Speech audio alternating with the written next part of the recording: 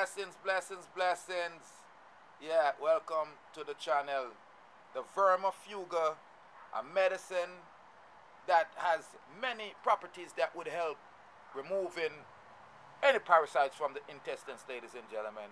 A cup of tea of this worm bush will send you to the bathroom, cleaning your intestine. It is good for asthma, cough, yes, and treating of many wounds. Yes, the worm bush has a scientific name. The Dysphania ambrosida, Chenopodium ambrosidis. Yes, that's the worm bush. Yes, ladies and gentlemen, I'm talking about the vermifuge.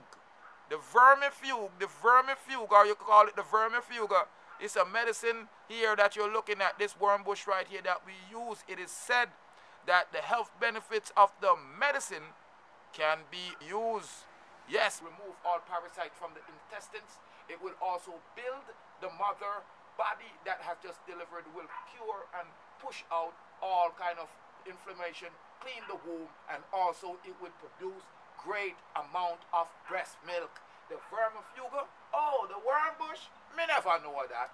For some herbal medicine, you may find yourself holding your breath while imagining cakes and candy. Worm bush is one such example. To subdue your strong taste, it's usually add few leaves of a mint tea in hope to help when you have your next cup of worm bush.